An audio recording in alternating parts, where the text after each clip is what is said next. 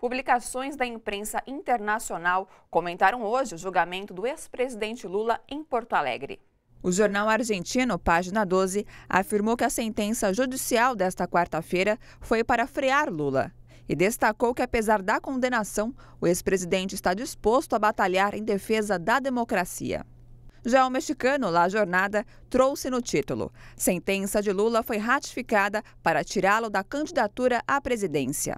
O espanhol é o país destacou as manifestações em apoio ao ex-presidente, principalmente em São Paulo, que reuniu milhares de pessoas.